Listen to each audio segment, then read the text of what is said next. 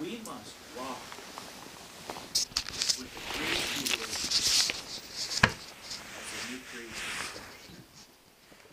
When we experience the mercy of God, we are recreated, we are renewed, oh, we are This is video.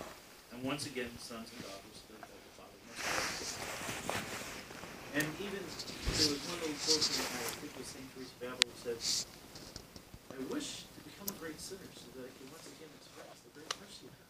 I mean, she never did, but she had that desire, and it's an understandable desire, and there's kind of a funny aspect of that.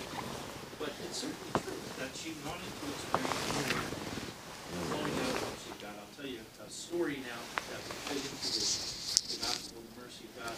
One of my favorite saints is actually he's Orthodox. He's just fairly recently canonized. You'll see why. Father Arsen, A